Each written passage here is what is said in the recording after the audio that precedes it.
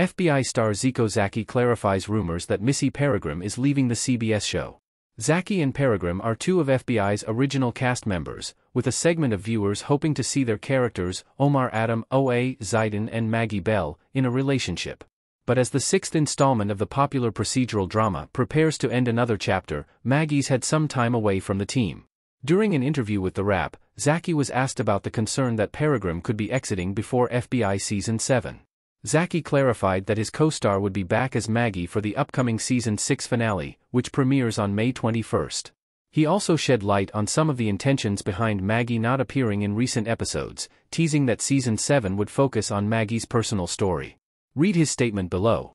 Maggie's status in FBI became a bit of a question mark due to the events of a recent episode, in which the character gets shot during a risky mission. She's able to defend herself, but it echoes what has happened to other characters in the overall franchise who have left after staring down life-threatening circumstances. In the most recent episode, No One Left Behind, Maggie is on leave and FBI Special Agent Tiffany Wallace, Katherine Renee Kane, fills in to take her place. Peregrym has portrayed Maggie since the beginning of FBI, though she's taken absences from the CBS show in the past. Maggie temporarily departed from the procedural drama, beginning late in season 2, to account for Peregrym's real-life pregnancy. To explain this absence, Maggie took a temporary undercover assignment away from her team.